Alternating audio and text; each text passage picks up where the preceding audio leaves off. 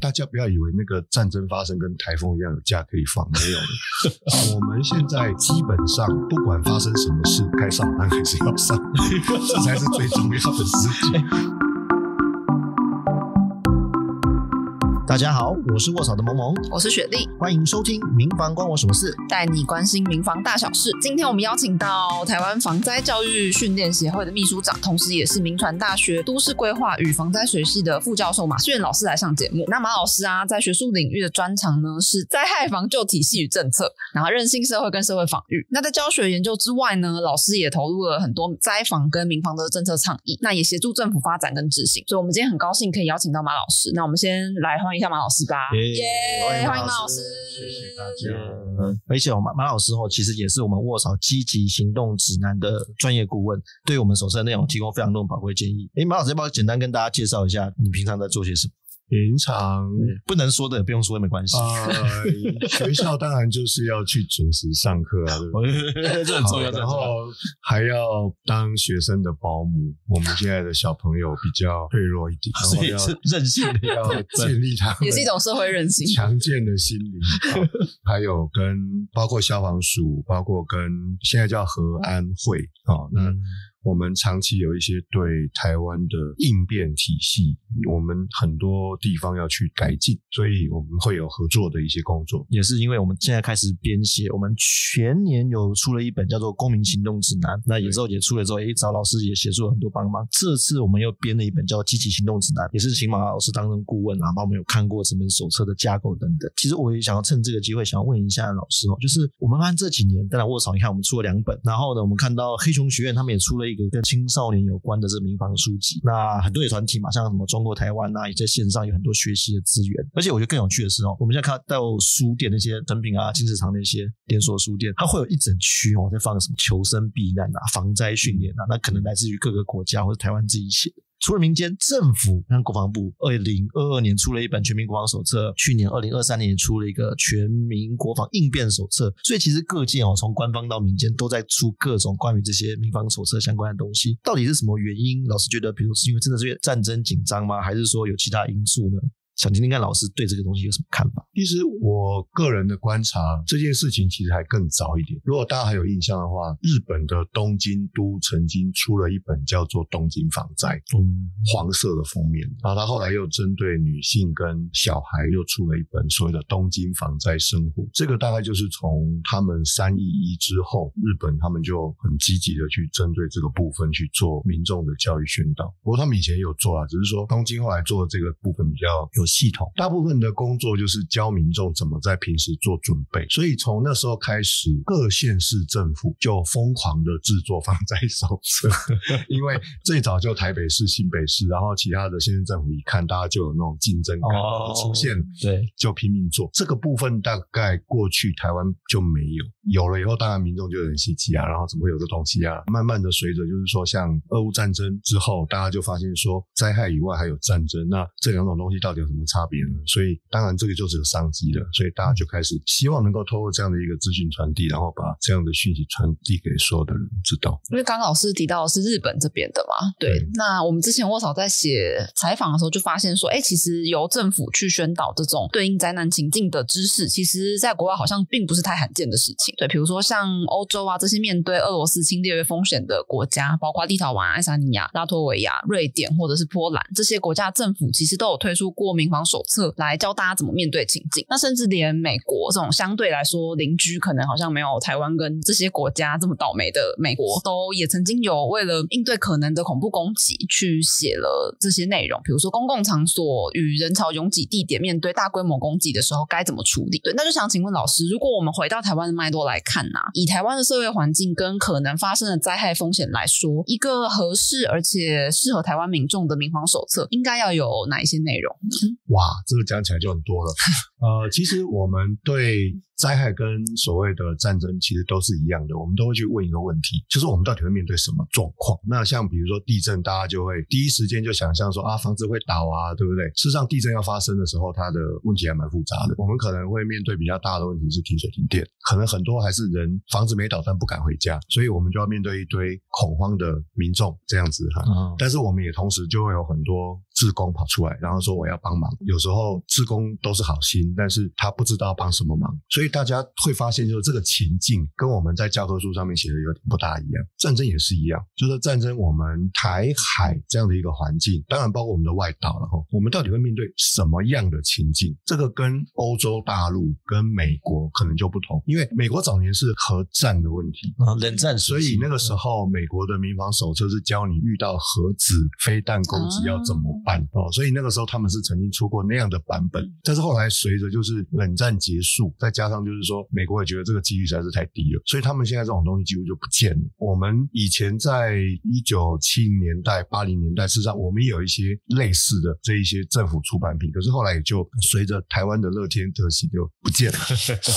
所以我们回过头来讲，就是说台湾现在所需要的民防手册，除了我刚刚第一个讲的情境，我们需要先确定之外，第二个就是说我们现在的。环境包括科技，你运用的科技，还有你的都市环境，跟以前完全不一样。所以以前用的东西，基本上我个人的想法就是通通丢掉，不要用了。我们必须要重新去想。老师，你刚刚提到那个情境啊，就是不管是灾害，当然我们可能想更强调的是，也许是战争的话，我们该怎么去思考台湾可能会碰到的战争情境、新形态的？就刚刚提到过去很多的想象，可能已经不符使用了嘛。对。那到底我们现在台湾可能真的要大家注意的战争情境会是怎么样子？好，比如说我举个例子来讲，大家知道二次大战到了末期哈，在台湾。也曾经被美军轰炸过，对对对，我们有个台北大空袭，对对对，对我觉得这个要提醒大家，对二战的时候，我们是被美军轰炸。请问二战的时候，台湾被哪个国家轰炸呢？对，一中华民国，二日本，三 美国。中华民国有没有来轰炸过？然后重庆飞得过来，对，从重庆飞。然后，然后美国，美国也去轰炸过东京嘛，所以东京有东京大轰炸。对，那我们在面对这个战争情境的时候的第一件事情就是。千万不要把那个东京大轰炸跟那时候台北大轰炸那样的一种情境再拿回来用。原因是我们现在的都市的建筑物跟以前已经完全不一样。台湾的都市建筑物现在应该大家这样讲，大家现在在讲房价很高嘛？那房价很高，大家就很抱怨。但是房价很高的背后有一其中一个一部分的原因，就是我们盖房子的成本贵。我们是钢筋水泥，然后很厚重的这样的一个结构，因为我们要抵抗地震，所以我们要所谓的什么叫做小震不坏。然后什么中正可修，大正不倒，就它有个口号。OK，对，就是说防震系数什么那些。对对对对对，就是九二一之后我们一直调整，九二一之前我们也调整，我们把什么加州啊、智利啊那些日本的那些，就是他们用来新建公共设施跟建筑物的标准，通通拿到台湾来，然后又把它加了加加码。所以台湾的建筑物，如果你要老实来讲的话，它搞不好很多建筑物比二次大战的碉堡还要坚固。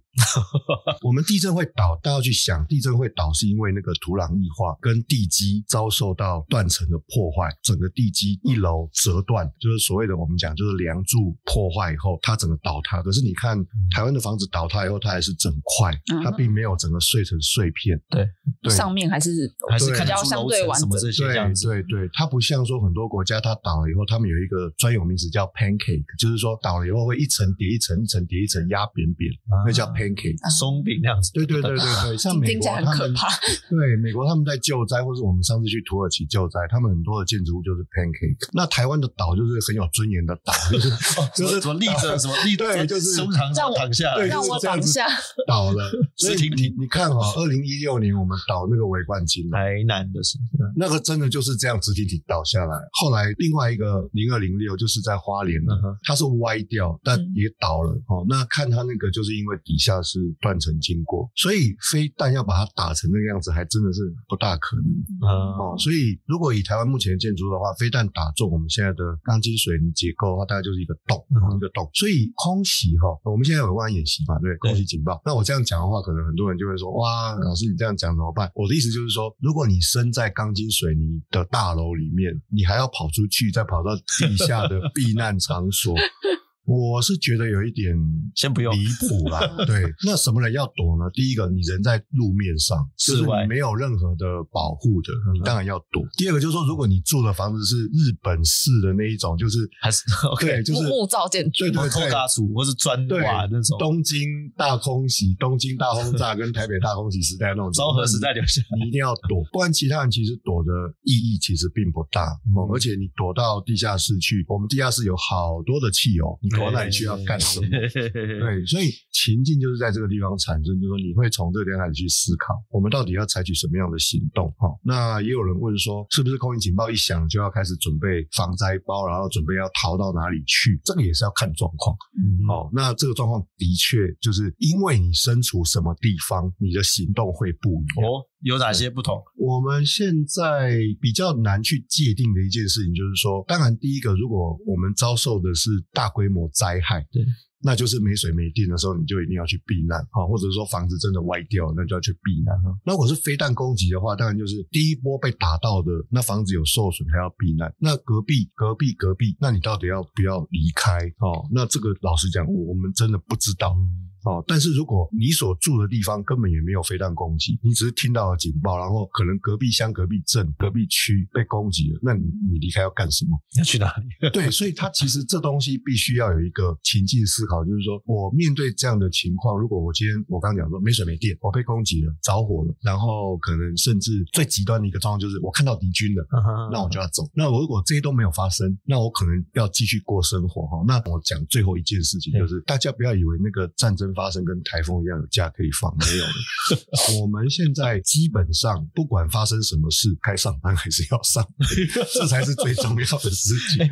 其实老师刚刚说这一句话，我们其实有写在我们这次的积极行动指南。我那个概念是一个什么？就是要尽量最大程度的维持社会机能的运作。没，错，没错，因为你可能原本说啊，我是一个，比如说我只是一个做面包的。对啊，我没差我一个人，我我我不要去上班不重要。可没有，你可能你的你维持这个台湾内部食物的供给，维持这个社会的正常运作，你还是让整个社会韧性盯住，不会马上就整个消失功能。这个其实也很重要。对对，所以我们这次哈，其实我们推出积极行动指南，也是想要，就是导师刚刚提的，让大家去了解可能的战争情境有哪些。因为就是我们如果一般传统可能想到还是呃诺曼底登陆啦，呃抢救连恩大兵啦，或是那些好莱坞电影式的那种战争情境，但是我们一般人。不会说开战就看到那个抢滩画面，那个其实很多种可能性。所以，我们这次不管介绍战争情境啊，还会介绍说你的当然可能要物资准备，如果真的需要的时候，你该准备些什么东西。然后，如果有必要的话，你可能可以学一些急救技巧啊，生理上的急救。我们这次还有讲到一些心理上如何去 coping，如何去应对一些调试的一些技巧。然后最后我们也提到一个，我觉得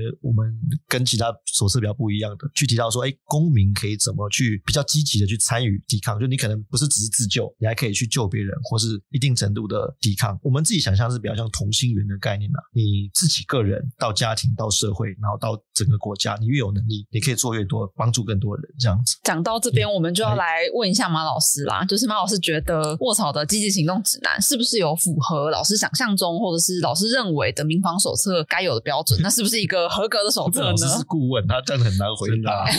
我 我先给我先给九十五分，耶留五分有进步空间。一定要留的，对对对。而且我觉得这个市面上其实很多的民防手册，就刚刚提到，都比较在于就是自救了。所以我觉得我们那时候跟老师也讨论到，有一些部分是在提到，到底身为公民，因为我们也不希望大家对于战争很啊，这都是国防部的事啊，这都是军人的事事情嗯，所以我什么都不要 care，我也不要准备，我也不需要学任何事情，发生之后再说看得到就躺。平，对，就躺平族。所以老师也觉得说，到底在对一般人而言啊，就是你可能没有经过专业的什么训练，或是那急救的训练，或是任何跟军事相关的知识，到底一般人除了刚刚讲继续工作之外，可以有什么方式来应对？也可能是大型灾难，或是可能的战争呢？好，我想从基本款开始讲，就是说，不管发生什么事都要准备的工作吧。我们在防灾的体系会建议民众有三天储备。嗯哦，那这三天储备当然就是包括水，然后一些比较容易使用的粮食。哦，很多民众到了台风的时候会去抢泡面，其实泡面不大容易食用，因为除非你要有热水。哦，嗯所以就是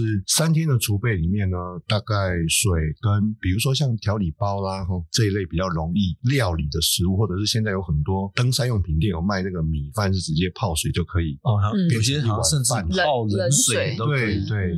那这些储备哈，就是说我们不见得是因为战争，而可能是因为大型的天灾，嗯，我们可能就需要它。那为什么是三天？因为按照过去我们的经验跟日本的经验，就是政府的援助或者是大型的民间团体的援助，七十二小时之内都会到。嗯，那以台湾这么小，你说到不了也不大容易。哦，就除非你住在很深山的地方，那当然另当别论。都市地区的话，可能更快。所以三天我们就讲这是一个基本款。那这个基本款其实蛮有意思的。我讲个小故事，就是我有一年上课的时候，我就要学生去做这样的准备。那请他们准备完以后拍照，然后呢画个图，告诉我，就是说万一他们住的地方发生火灾啊、地震啊，他的行动计划是什么？那你就会看到蛮有趣的哦。就是火灾，当然你就是要先求生嘛。想办法不要被熏，不要被烟呛到啊！然后先在一个安全的地方等人家来救你，或是你能够直接疏散的话就疏散了。地震的话呢，大家就开始在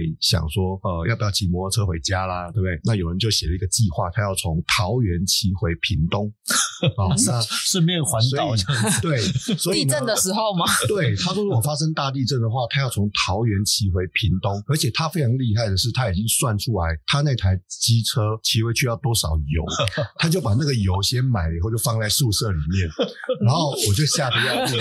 我说：“等一下，老师告诉你的三天储备好像没有包括这一块。”对，但是呢，他就说：“那这样的话，他如果临时到加油站，加油站没有电，他没办法加油，就没办法回家，对不对？然后什么铁路公路又不通怎么办？”那我就跟他讲：“我说你这样子好不好？你那你那三桶油哈。”能不能不要放在房间里？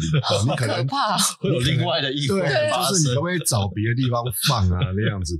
但是那一位学生哦，很可爱，就是说他后来没隔几天，他遇到一个情况是，他们那个宿舍忽然停水。停水的原因是因为他们那个水塔的水管爆掉了。嗯，哦，那他刚好洗头洗到一半，所以他满身泡沫，他就忽然想到了我告诉他的三天储备，然后。他运气非常好，是因为他原来放汽油的地方，他后来放了水，哇！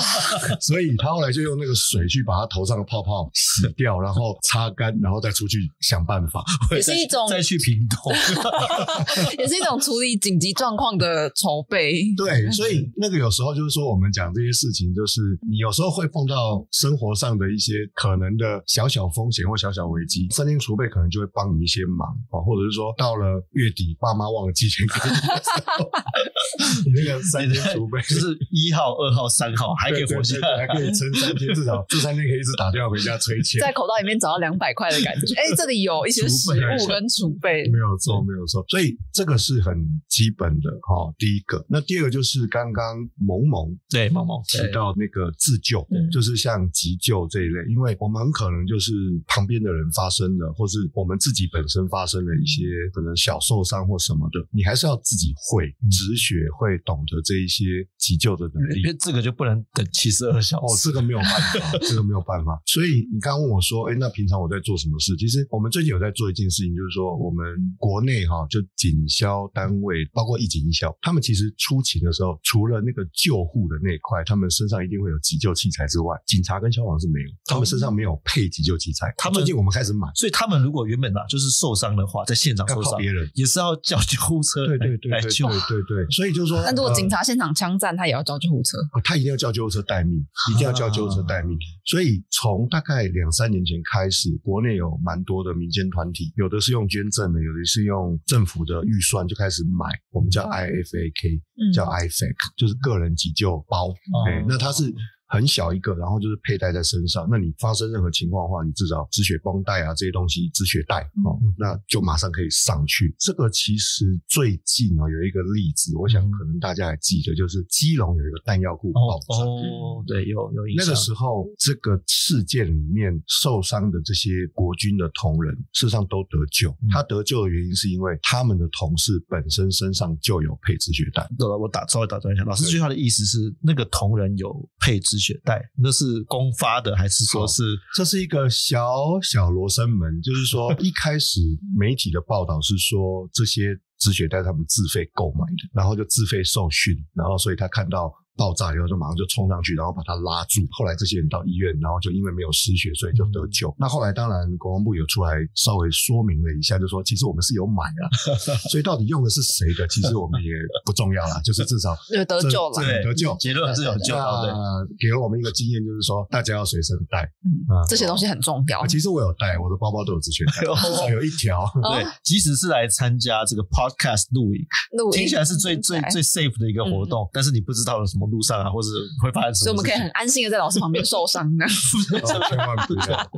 所以自救能力，这个是我们讲的第二个基本的准备啊，就是协助旁边或你自己。再来就是刚刚讲到一个很复杂的问题，就是说你到底要采取什么行动？就是说你面对这样的一个可能的，不管是任何的风险，你要怎么采取行动？所以这个就变成是我们在国民所有的国民哦，其实当然每个人的想法不一样，我们还是希望就是说把这件事情普及化，就是你面对一个危机的时候，你的家庭、你自己啊，还有你的社区跟你上班的地方，它应该基本上要有一个这种所谓的危机的演练，让你熟悉，就是说我遇到这个情况要怎么办。所以像即便是坐游览车，我们也要找逃生门，然后去唱 KTV，我们也要找逃生门，这大概一样的概念嘛而且这些都是真的有发生过，有没有训练，有没有逃生计划，结果会差很多，真的有这样的事件发生。对对，这就是很很很多条人命。老师刚刚讲到的这个部分，其实就是蛮重要，这个民防手册的面对大众的部分，这样子。那因为比如说以台湾面对中国武力威胁的情境，民防教育其实应该是蛮重要。然后台湾也是一个有地震啊，然后可能有比较多各式各样情况的，或者是即使是日常生活中的相对比较小的灾害，可能我们也都会遇到。对，那因为现在好像国防部到了去年才公布了全民国防应变手册，而且好像是被骂了蛮久之后才出来的。那就想要问老师啊，那目前就是政府这个面向一般社会大众的民防教育，老师觉得足够吗？怎么样鼓励大家更学习这方面的知识呢？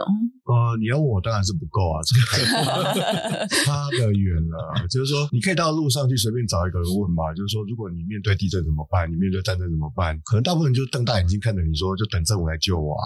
对，政府不大可能那时候来救你啊，因为他可能要忙别的事情，而且搞不好政府自己就是受灾户啊。我们现在其实大家在这么长一段时间以来，我们都会认为说，我们比如说打一九打一一零，然后政府就随口随到，那是因为你在正常状况之下啊，然后政府是好的，但是政府也会坏掉。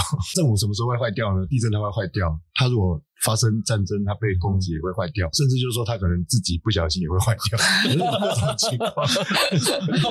所以你不能把政府当做一个超人，就是说他一定什么都会。所以以前大概十年前哦，我们开始就在鼓励，因为我个人有在跑学校的防灾，就是国中小的那种，帮他们看他们的防灾演练跟他们的这些校园安全。他们一开始呢，每一次只要演习，一定会把消防队找来，然后救护车一定会在旁边待命。当然，你对消防分队来讲，他就有一个业绩，就是说，哎，可以拍照，某某国小办演习，然后我就到，然后那个小朋友看到消防队就说，哦耶，英雄这样子，这是蛮好的。但是如果你是办在平常的那种防灾教育，还 OK，可是防灾演习就不 OK 了。因为防灾演习的时候，我们看了以后，我们就会跟学校老师讲说，你确定你那个什么地震发生六级，然后消防队会来吗？因为如果说真的这么大，可能你旁边的社区已经。垮了好多，甚至就是说，不要说房子倒，我们现在在台湾哦，大家对地震的想象，我刚刚在讲情境的时候漏讲一个东西，其实我们最怕是什么？你知道，最怕冷机机掉下来，真的啊，那个板桥对对是有一个大学生对，一个女生就这样子就死掉了。所以地震发生以后，其实大家真的第一时间最重要是要小心头上的东西，瓷砖。你看最近不是寒流吗？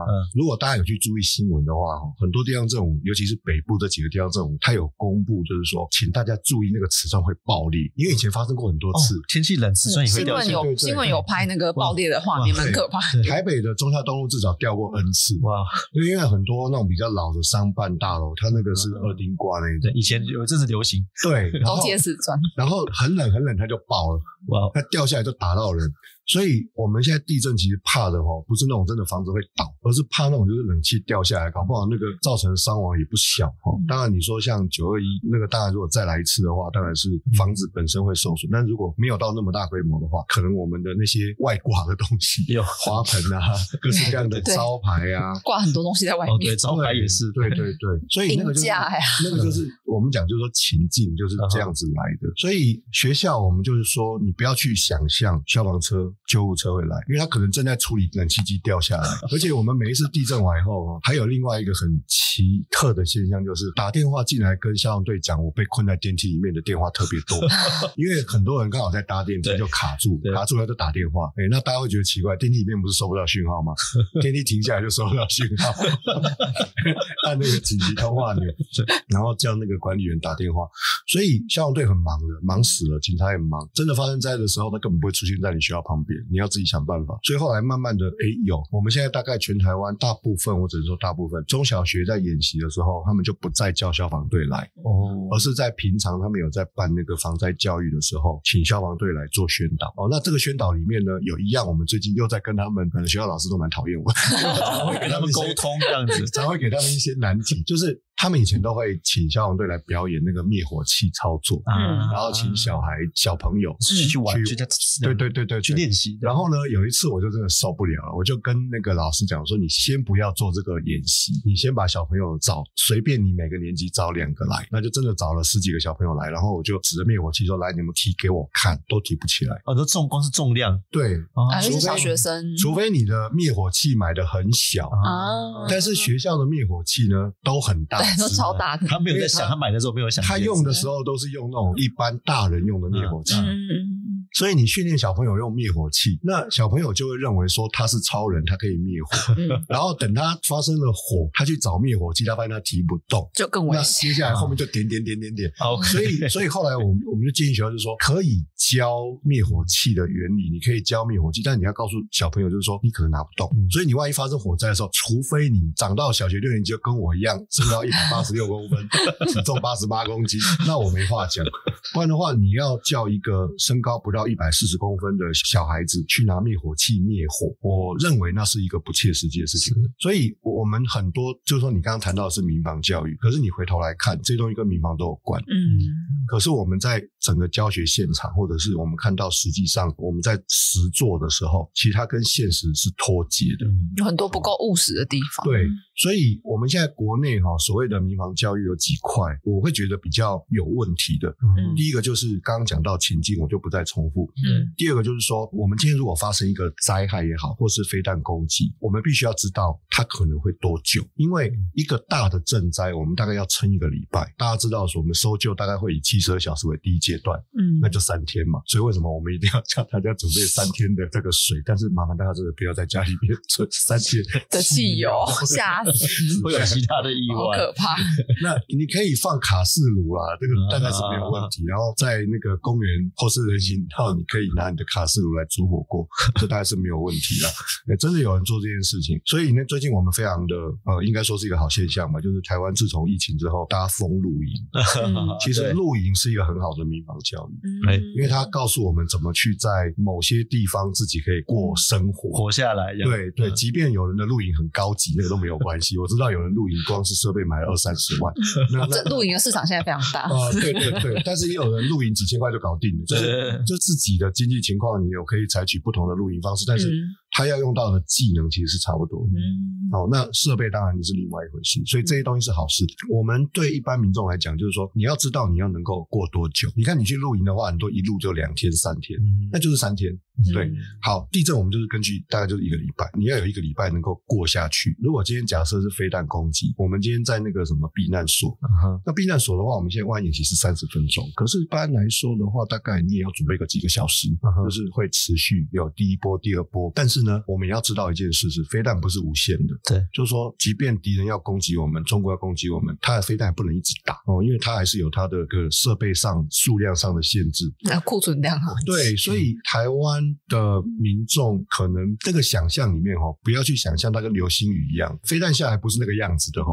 那像即便是日本，他们在面对北韩这种飞弹袭击，他们大概也都是用单数颗在做计算，就是说可能一颗掉下来，两颗掉下来这样去算。然后接下来就是说，从这个掉下来的弹着点的中心往外，你要做什么事情？哦，那我们台湾大概也差不多，因为有人去算过了，大概三千多枚针对台湾的这样的一个嗯飞弹火箭，这真正能够落地的大概五百上下啊，这个这是目前因为我们也会有拦截啊，或是他们对方对对对，就是说我们我们拦截完了以后，大概还会有一些漏网之鱼，大概差不多五百。那五百的话，你看我们有三百六十八个乡镇，平均一点五个。那假设你全部都打某个都市的话，你也不可能每一寸土地都打到，一定会有重点。我们在这个部分就是说，当我们面对这样的一个情况的时候，那就是我刚刚讲的，你要能够选择怎么去对发生事件以后的两天、三天、一个礼拜要去做准备。我可能会在哪里？我刚刚还是要提到，该上班还是得去上班。哦，所以这个是我们在民防教育上面，我认为尤其是这个部分是属于新房的部分，嗯，比较弱，就大家对概念这个部分比较弱。第二个弱的就是我们刚刚讲到的，就是行动计划，就是我到底要怎么做这个程序，在不同的情境之下、不同的场所是不一样的。它可能不是由政府统一去宣布，而是说你每一个独立的空间，比如说一栋大楼、管委会，或者是一个学校，或是一个医院，或是一个购物商场，你要有自己的民防的，或者是灾害的应变的程序。那你要告诉在你这里面的人你要怎么做，这一点我们做的很不好。我们 我们基本上都没有看到很具体的东西。这个确实好像是蛮让人感到恐怖的，因为我其实啊，照这个有点差题，不过我觉得也蛮有值得讨论。就是其实我们有相当多的法规，像民防法，我们其实有一个法叫民防法，里面其实我记得有规定到，不管是公司行号，或者是像国营事业，你是台电什么，其实它有规定到，照理论上照法律来讲，哈，你都要编的各种防护团，然后定期要训练，要针对什么时候嘛，你甚至要编组，要什么要分工合作。但我相信绝大多数的人，不管你在上班啊，你在学校，在各个地方，应该都没有真的 practice，都没有执行过，不管编计划、练习，应该完全没有碰过这件事情。但是应该要做的东西，完全没有去练习到。对啊，因为我们讲个例子哈，就是说日本当时不是有阪神大地震嘛，一九九五年，那后来他们就有很多新盖的大楼，那么日本政府就针对这些大楼，他们就有做所谓的地震的疏散的演习，也就是说地震完了以后，可能没有没有水、没有电，大家要从大概十五层楼或到二十层楼高的建筑物疏散到平面，然后再去避难所。我有一次就有去看他们在做这件事情。其实日本人在演习的时候是就很淡定的，他们就从那个最上层的楼一路往下，就慢慢慢慢走楼梯，就是像我们政府常常在讲说地震火灾不要搭电梯，对不对？啊，就走楼梯。然后呢，所有人就塞在二楼到四楼之间，因为那个楼梯就是呃有老的有小的，然后有腿长的有腿短的，所以每个人走路的速度不一样。等到你到了二楼、三楼、四楼时候就卡住了，因为每个人都要从一楼那个小小的门出去啊啊，下交流道概念。对，所以就塞人了。然后呢，我们就看那个演习，从一开始发布就是说管委会就是说来，大家现在地震完了，我们到一楼集合，然后我们要算一下时间。二十层楼大概花了快半个小时，嗯哼，才把所有的人都疏散下来。然后疏散下来以后，他们还要派人回去一楼一楼清点，到底还有谁躲在里面？就他们做的很彻底。可是这个过程一弄就弄了一两个小时，所以我们就回头在想，就是说，哦，如果以台湾来讲的话，我们如果做这件事情，我们到底有没有练习？还是就是说，我们只是告诉大家，就是说地震火灾你就不要搭电梯，然后就没有了。一零一六十楼上班的人怎么办？一零一他有那个临时避难平台，他每隔几层都有一个平台可以避难，他不用整个下到一楼。对啊，因为从六十楼走到一楼都腿软了吧？吓死！他有避难平台，可是我没练习啊。我老师刚刚提到，就是我们现在其实各个不管机关单位，但还有学校，其实练习可能都不够，或是就算有，像刚刚讲说，哎，找消防队来等等，但有时候又流于表面。那除了学校刚刚除了提到国小之外，我记得中学和大学其实原本有那个军训课，那现在转型嘛，转型成为那个叫做全民国防课程。就我们的想象，因为说实在，我们也脱离了那个中学教育的这个阶段，这个课程难道没有办法就是 cover 到我们现在期待的这个民防教育上面吗？这个东西要怎么样去把它接起来？就当然除了学校之外，还有没有什么样其他的这个学习民防的管道？这样这个东西老师有没有涉略？有没有什么建议？我有一些比较粗浅的想法了，这只能说粗浅，因为国高中的课我已经很久没有上，我已经毕业好久了，大学我也毕业很长一段时间。不过我有在学校的防灾的观摩里面有在看他们怎么去上那些课，大部分的课程还是以比如说认识军事，比如说国军的组织啦，比如说国防的武器啦，哈一些军事新知。我想这个是军训教官，我们也叫军训教官啊，这些叫校安。我们所谓的这些国防的干部，他们的专长，这个当然没有问题。但是如果以民防角度来讲，可能警察、消防、救护他们所具备的一些技能跟知识，说不定在这个所谓的全民国防教育里面，应该要占一个比例。那这个比例在目前我们所看到的这个国防教教育里面是没有的。所以，我们前面一直讲到自救，我们讲到什么储备，讲到这些，这个应该要把它融进去。所以，未来这样的一个全面国防教育可以的话，我会比较希望就是说，它是由军警消来共同规划这样的课程，然后到学校里面去教。那为什么这样子做呢？其实有几个原因。第一个就是说，我知道现在很多学校的那教官还有负担另外一个小小的任务，叫做募兵了。一样的道理啊，我们警察也是要募募警募校，就是要鼓励大家去考啊。消防也是要鼓励大家去考，所以大家不要忘记，我们还有义警跟义教，还有义校。对对对对，这些都是需要人力。所以这些人力呢，我们现在都老化，尤其是我刚刚讲到的义警、义教跟义校，他的年纪偏高，他的训练跟装备不够，这个现在正在改善。但是年龄你没办法改善，那一年就是会老一岁。所以如果这个全民国防教育可以转型，就是说，他让军警。消联合规划有一部分的内容由原来的军事，有一部分内容把后面的警察跟消防加进去。一方面对学生来讲，他会学到东西更多，而且更实用。第二方面就是说，未来的这些所谓的民防、义警、一交、义消的这些人力招募，它就会比较容易年轻化，因为你从小就会扎根。那这个对于我们这个事实上都是叫志工啊，就对于台湾在基层去培养这样的人力是很重要的。那我知道的是，最近在大学哈，因为我们在大学教书可以看得到，就是社团活动的那个强度没有像以前我念大学的时候那么多。因为以前念大学社团就是一个应该说穷极无聊之下一定要去的地方，可是现在的学生实在是太不无聊了，他什么都有，所以你就要去参加社团，好像很怪。所以你现在除了一些少数的社团，像登山啊，或者是一些比较技能性的社团比较容易找到人之外，其他社团真的蛮难找人的。我记得我念大学的时候有一段时间哦，佛学社的人超多，可能那个时候的人比较彷徨吧，就是说他们都 其实现在佛学社有另外一个趋向，对，你说拜师傅的社，对对对，某 某某几个宗教也变少了，对。但是以前的佛学社真的是很正经的，超级多人佛学，对。然后宗教性社团以前也也很兴盛，最近这一段时间我的观察是学校这一块都在退流行。可是呢，有些社团，比如说像救护社，其实有救护社的学校，他们的那个社员都超多。我们年轻的朋友其实他们还蛮有意思的，就是说他们很渴望，就是说通过 EMT One 的训练啊，然后能够穿上那一个制服，反光制服，然后可以去参与救护车，对，可可以去参与某一些行动这样子。所以消防署也有编一笔经费，从今年开始慢慢在补助大专社团，就是成立类似于消防救护的社团。那为什么我们不把这些？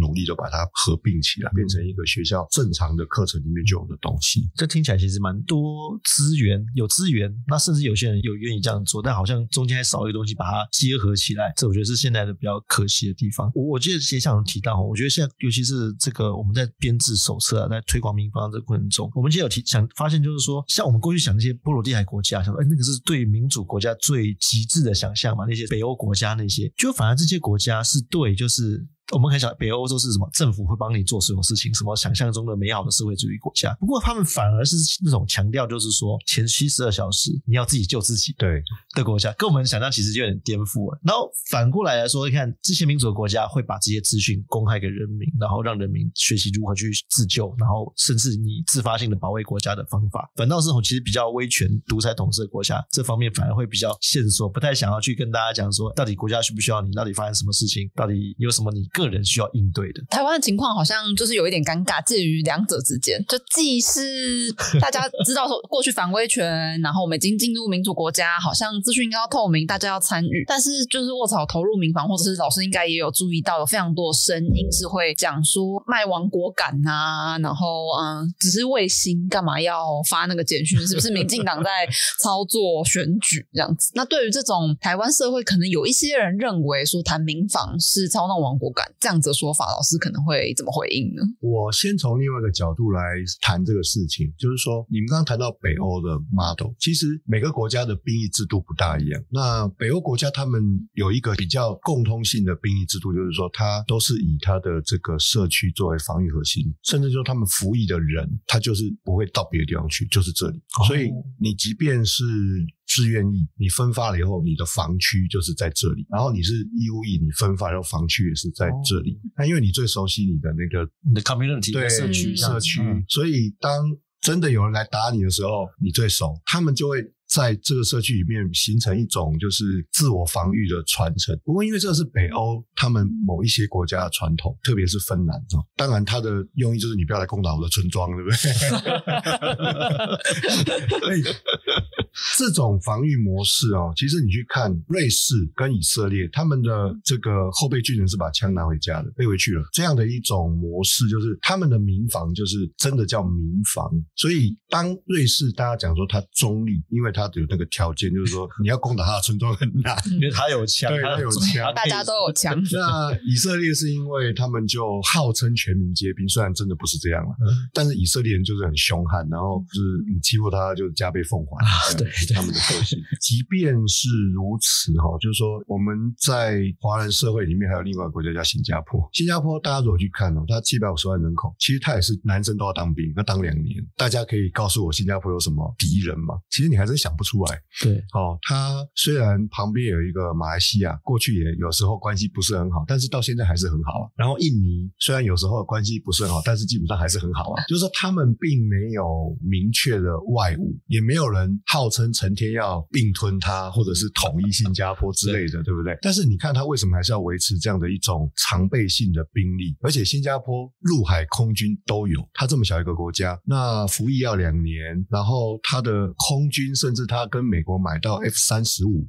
那就比台湾 F 十六更对，更进阶。它有 F 三十五，它有 F 十五。我们线上的听众可能这两个机型如果很熟悉的，就会知道这个都是属于非常高阶的战机啊。尤其是 F 十五，台湾过去已经跟美国讲了不知道多少年，美国不卖就是不卖。那日本有好，然后新加坡有，台湾他不敢卖，为什么？因为 如果买的话，我们可以一路打到新疆去，所以他就不卖你台湾，因为他知道这东西是长城攻击性武器。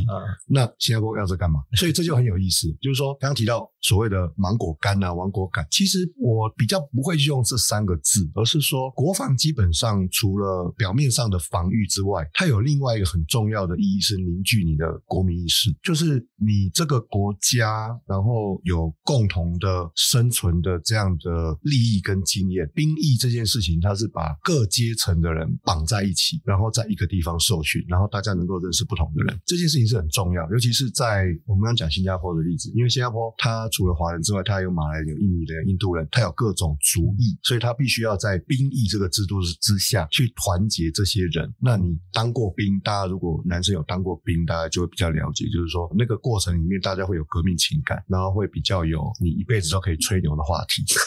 所以那个当完兵的男生，通常他们的女朋友最受不了的就是回来就是满口就在讲当兵的事。可能不止他们的女朋友，所有人都不是很受不了。就是，但是你就可以想象，就是说。像我们现在正在征集那个一年的兵兵役的那些役男嘛，我们那天看昨天看到新闻，就是说有的家属依依不舍啊，有的役男觉得惶恐啊，对不对？可是我跟你保证，一年回来以后，这些人绝对是讲到这个东西可以讲三天 哦，然后吹牛可以吹一个礼拜。这种东西就是很重要，它是一个生命经验。当你把这件事情当做一个我们共同防卫家园的生命经验的时候，它其实不是亡国不亡国的问题啊，而是说你能够在这个过程里面交到不同的朋友，然后去了解。这个社会上有各种人 哦，像比如说我当兵的时候，因为我在陆战队服役，因为我是狱官哦，我带的兵一半有前科哦，那他前科都不是很严重的，所以他们还是得当兵。可是你看到他们那个前科的时候，你就会吓死，就是说我的天哪，我竟然跟这些人在一起。对，但是这个在我们以前生活经验是没有的。你有看到有偷东西的，有各种犯过各式各样的小罪的人在你的身边，那这些人你就会试着去跟他们相处，然后了解他们在想什么。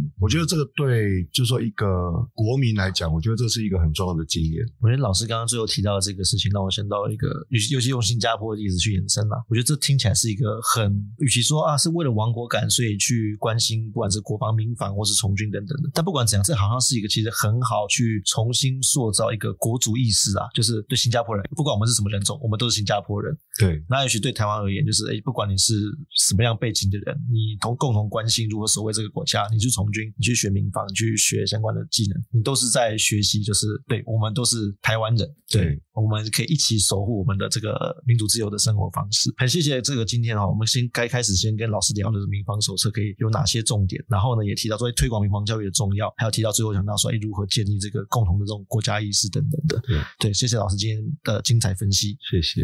对，那我们民防关我什么事的下一集，我们会继续邀请到马世元老师跟我们一起聊这几年政府规划了哪一些民防新的措施，大家不要错过喽。然后，这集就到这边告一段落，下次再见，拜拜，拜拜，拜。卧草民防控有什么事？是一个讨论民房议题的节目。我们希望让民房议题变得有趣、生活化，让更多人一起了解全民防务的重要性。欢迎把节目资讯分享给身边的亲朋好友。今天聊到的卧草文章链接都会放在下方资讯栏。如果喜欢我们的节目，欢迎 follow 卧草 Facebook、IG、Twitter、YouTube 以及我们的 Podcast 频道。